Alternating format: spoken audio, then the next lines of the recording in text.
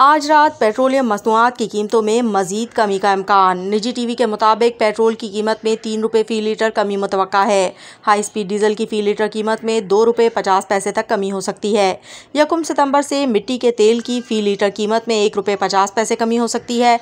Light diesel दो रुपये फ़ी litre सस्ता होने का इम्कान है। आलमी मंडी में तेल की कीमतों में कमी होने की वजह से पाकिस्तान में भी पेट्रोलियम मसनूआत की कीमतों में मजीद कमी का इम्कान है।